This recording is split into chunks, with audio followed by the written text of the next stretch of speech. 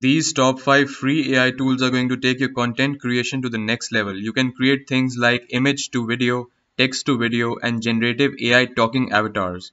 The first tool is called Pika. It is a newly launched tool which is right now open to public. So you can access it by going to the Discord server. The link to this is in the description. So once you're on the Discord server, you just need to type slash slash create and write in a simple prompt. As you can see, these are the simple prompts and these are the results some of the creators are getting on here.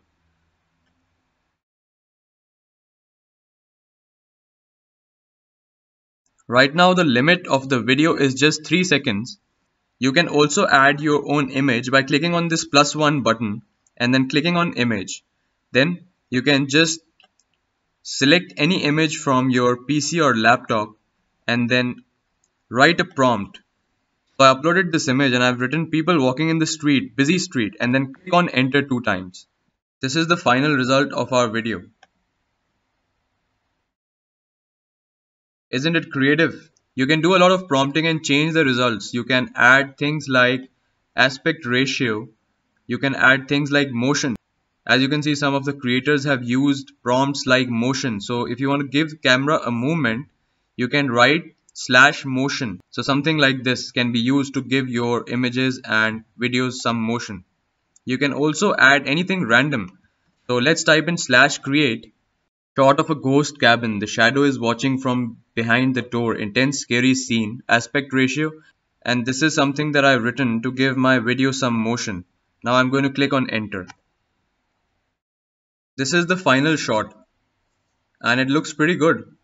I can click on this regenerate button in order to generate multiple shots of the same story and create a short film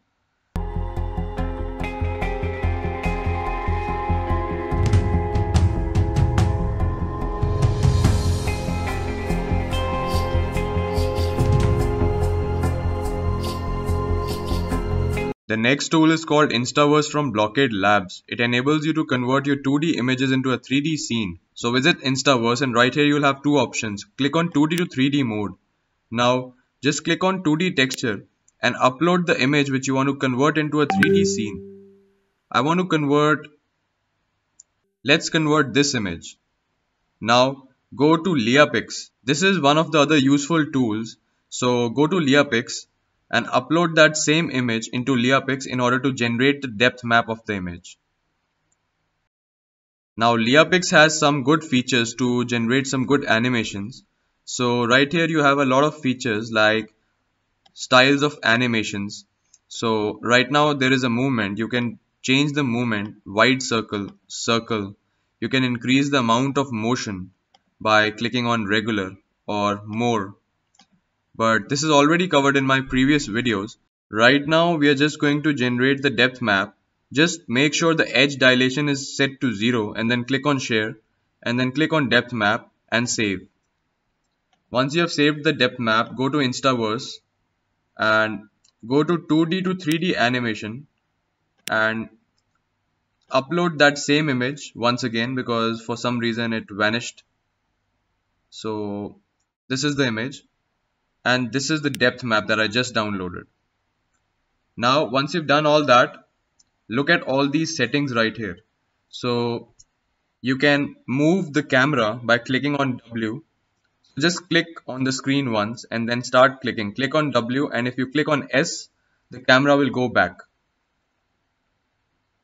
If you click on E, the camera will go up. If you click on Q, the camera will go down. If you click on R, the camera will reset so in this way you can generate and in this way you can create an animation using this tool.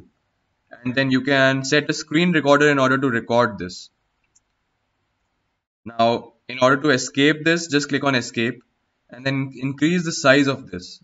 Increase the speed of the animation. Now if we click on the screen and if we move as you can see the speed has increased This is uh, one animation style that you can generate from this. The next tool is called Sad Talker on Hugging Face. So this is an alternative to D-ID and HeyGen as D-ID has no free subscription and no free trial right now. And HeyGen also gives you only one credit. This is a free alternative to give your images some talking animation. So visit Hugging Face. The link to all these tools are in the description. And then you can double click and choose an image to upload. And then right here you can upload your audio. So let me refresh the page. So just double click and choose an image and then double click right here and choose an audio. There are a couple of settings. So pose style, expression scale. You can keep the expression scale to 1.2 and face model resolution. Increase the resolution and you can you can set the size. So if you click on full, the image size will come out to be full or if you want to resize it or crop it and you can set the batch size in generation still mode so you can click this also Usually it is very busy, so you may have to wait for a long time to generate one video. You can also duplicate the space if you have enough GPU and your system supports that. The next tool is HeyGen. Most of the other tools that I'm going to cover in this video are present in HeyGen itself. The first tool is called text to video as you all know and you must have used it before. Now if you do not have an account, go to HeyGen Runway ML website Go to Runway ML's official website and create a new account. Once you create a new account, you will get around 105 credits. You can use them across all these different tools. Now just click on text to video and this tab will open where you can write any prompt and generate a video. Now there is a new feature added to Runway ML's Gen 2 which is the image to video.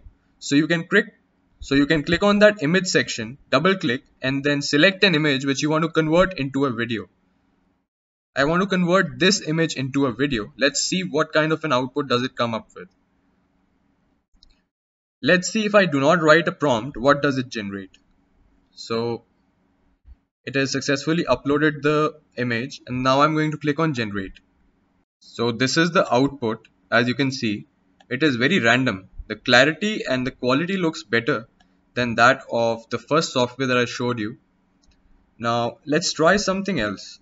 Now let's try changing the image. This is the next image and this is the prompt that I've written. It's a very basic prompt. Now let's click on generate. One thing I just noticed was that if you give your image a prompt, it will not pick the original image. Instead, it will generate text to video. So this was the previous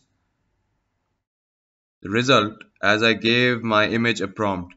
I have regenerated the original image let's see what kind of a result does this come up with let's see the final result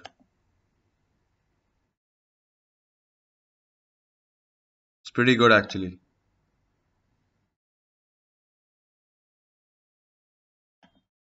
so these were the two tools one is the text to image and the second one is image to image which you can use by coming to runway ml there are a lot of tools that you can explore through and check out and they may be useful for you.